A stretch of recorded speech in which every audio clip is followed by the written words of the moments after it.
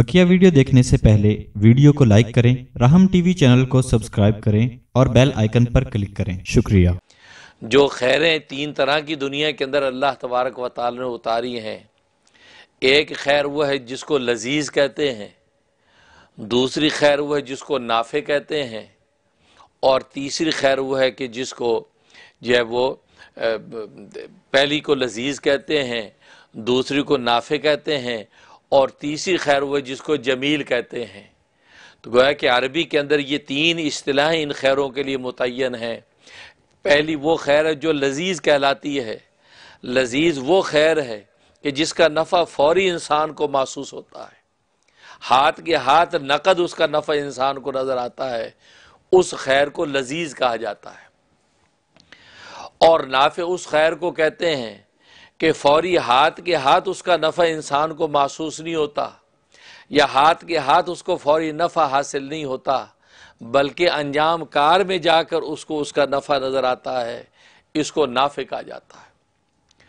और तीसरी वो खैर जिसको जमील कहते हैं। जमील वो खैर है कि जिसका हाथ के हाथ नकद नफ़ा भी इंसान को नज़र आता है, और उसका अंजाम कार भी नफ़ा नज़र आता है।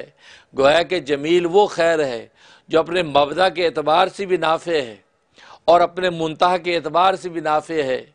लेकिन जो लजीज वो खैर है, जो अपने मबदा के अतबार से तो नाफे है मुंतह के अतबार से नाफे नहीं है। और नाफे वो खैर है कि जो अपने मबदा के अतबार से तो नाफे नहीं है, लेकिन अपने मुंतहा के अतबार से नाफी है। तो गोया कि ये तीन तरह की खैरें अल्लाह तबारक व ताल ने दुनिया में उतार रखी हैं। कि अब इंसान अपनी अपनी तबीयत और ज़ौक़ के मुताबिक कोई लजीज़ वाली खैर को हासिल करता है, कोई नाफे वाली खैर को हासिल करता है, कोई जमील वाली खैर को हासिल करता है, ये इंसान के अपने ज़ौक़ पर डिपेंड करता है। इंसान के अपने मिजाज और तबीयत पर डिपेंड करता है कि अगर ऐसी तबीयत है कि जो फौरी नफ़ा चाहती है, कि हाथ के हाथ उसको यह नफ़ा मिलना चाहिए। नकद नकद मुझे तो यार उसका नफ़ा चाहिए। तो गोया कि वो लजीज़ वाली खैर को की तरफ़ हाथ बढ़ाता है। चुनाचे आम तौर पर जितनी गज़ाएँ हैं, उन गज़ाओं के अंदर इंसान लजीज़ वाला नफ़ा देखता है कि हाथ के हाथ खाते यार लुत्फ आ जाए, मज़ा आ जाए अच्छा लगे। और नाफे वाली खैर आम तौर पे दवाओं के अंदर इंसान देखता है कि अभी दवा खाते हुए तो कड़वी लग रही है अभी दवा खाते हुए तो कोई फ़ायदा नज़र आता नहीं है, लेकिन नतीजतन अंजाम कार में उसको सेहत नज़र आ रही है कि अगर ये मैं दवा खा लूँगा तो बाद में यही दवा मेरे लिए खैर बन जाएगी मतलब मुझे सेहत हो जाएगी।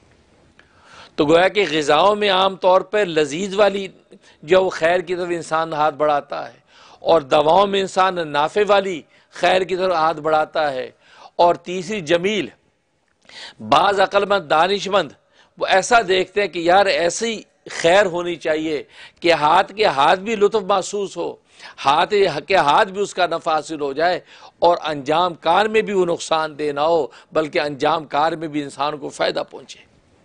तो वो जमील वाली खैर को तलाश करता है।